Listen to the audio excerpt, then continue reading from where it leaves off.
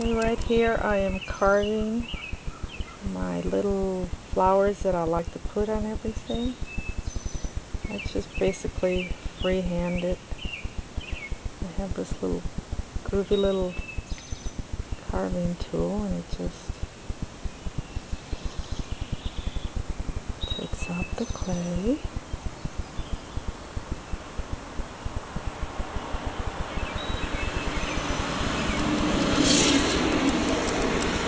That's how I carve the bolt.